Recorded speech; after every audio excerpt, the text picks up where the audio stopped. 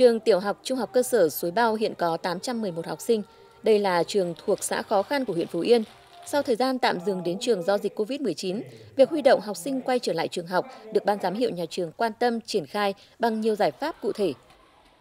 Nghỉ dịch ờ, cũng tương đối dài đấy thì ảnh hưởng rất nhiều tới công tác học tập của các em. Đặc biệt là người dân tộc vùng sâu vùng xa, mỗi một lần ra trường ra lớp là cũng mất một chặng đường rất là dài. À, cũng ảnh hưởng về vấn đề duy trì chỉ số. Số lượng học sinh tham gia học tập không được đầy đủ như những năm khác. Về vấn đề học tập ấy, thì à, cũng ảnh hưởng cũng không không phải là ít bởi vì là một số giáo viên là bộ môn ấy là bị nhiễm bệnh cho nên là cũng à, phải dạy các môn khác chèn vào và sau đó là dạy bù.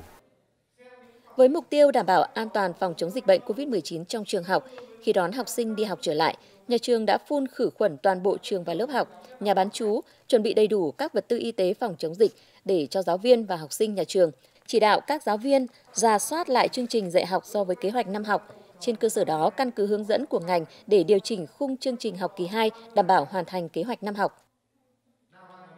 Với bản thân tôi là một giáo viên đứng lớp thì trước khi vào lớp thì tôi cũng bao quát cả lớp, nhắc nhở các em và thực hiện cái công tác đeo khẩu trang và quan sát, theo dõi sức khỏe của các em nếu có biểu hiện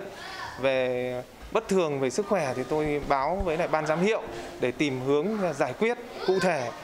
Còn đối với lại ờ, việc ờ, công tác giảng dạy thì bản thân tôi sẽ ờ, cũng xây dựng cái chương trình cụ thể, sẵn sàng cho công tác dịch có thể bùng phát.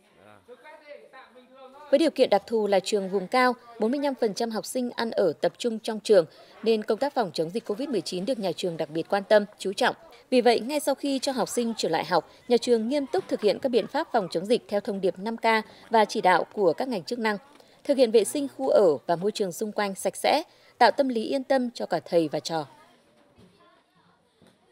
Khi học sinh trở lại thì ừ, mặc dù ờ, một tuần thì tôi sẽ sinh hoạt bán chú vào hai buổi tối, đó là sinh hoạt bán chú vào tối thứ ba và tối thứ năm à, để tuyên truyền cho các em học sinh về cái cách phòng chống chống dịch và cái thực hiện tốt cái công tác 5K.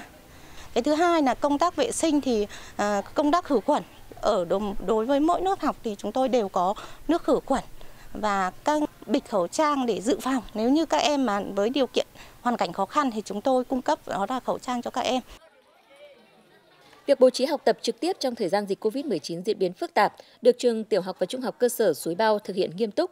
Tuy nhiên, bên cạnh sự nỗ lực của nhà trường, cần có thêm sự chung tay của các bậc phụ huynh và các em học sinh trong việc nêu cao ý thức, chấp hành đầy đủ các biện pháp phòng dịch để các em có một năm học an toàn và đạt kết quả cao.